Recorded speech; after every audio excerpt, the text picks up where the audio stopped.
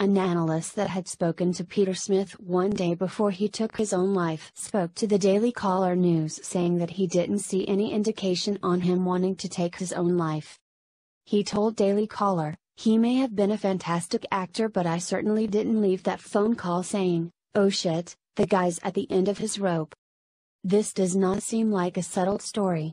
It made perfect sense to me he might have died of natural causes, but little chance he would have killed himself.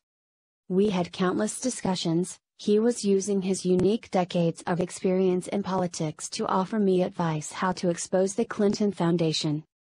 The suicide of Peter Smith immediately became the news for many media worldwide. According to the Tribune, he was found with a bag over his head with a source of helium attached. The analyst dismissed the possibility of Peter taking away his own life by saying that there were no indications of that happening when he spoke to him.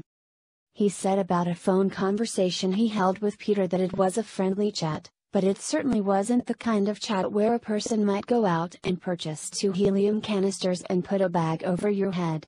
That made no sense.